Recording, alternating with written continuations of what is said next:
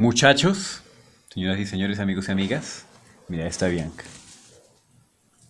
Vamos a ir a trabajar. Los tres vamos a trabajar. Y vamos a mirar si podemos conocer lo que es la maquinaria con la que se van a imprimir las camisetas y así.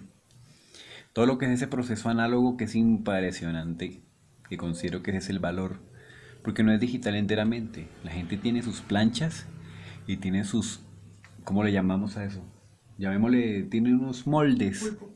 Bueno, tienen un pulpo con unos moldes y van rotándose. Les voy a mostrar el tipo de técnica que utilizan. Es impresionante. Hoy nos vamos a trabajar los tres. Los tres mosqueteros.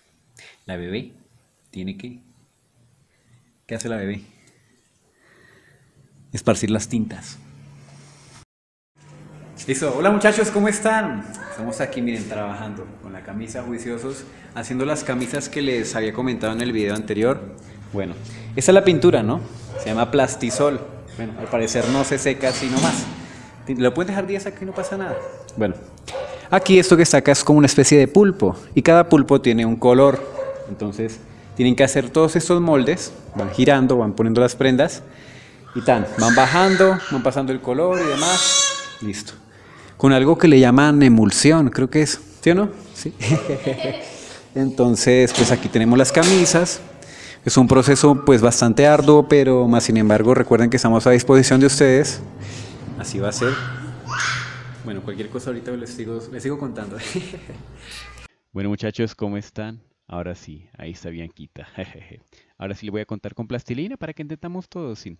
Eso que está allá son moldes, eso que está allá es un pulpo y lo van girando, lo van rotando y las camisetas van ahí.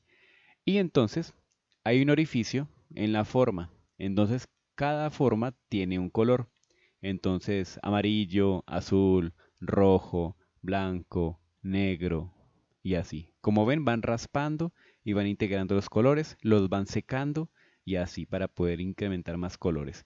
Y luego se va echando colorcito y demás impresionante. Porque bueno, lo bonito y lo interesante de esto es que ustedes digan, bueno, quiero un dibujo de Terry con Candy, quiero Goku, quiero un superhéroe, quiero a, a mi mamá que falleció, quiero a mi perro, quiero lo que sea que me pidan.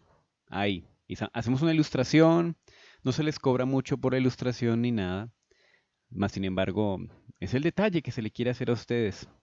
Y pues es una manera en la que también nos contribuyen y así, personalizado como ustedes siempre han querido. Cuando, pues si se trata de México, más sencillo el envío, lo pagarían ustedes. Pero si es otro país, mm, pues lo mismo, se pagaría, la pagarían ustedes, pero entonces sería un poquitico más costoso. Pero el presupuesto es el mismo. Yo digo que más o menos cada camiseta les puede salir por 250 pesos, o sea, personalizada, o sea, increíble, impresionante. Ya después les diré más sobre el proyecto, muchachos.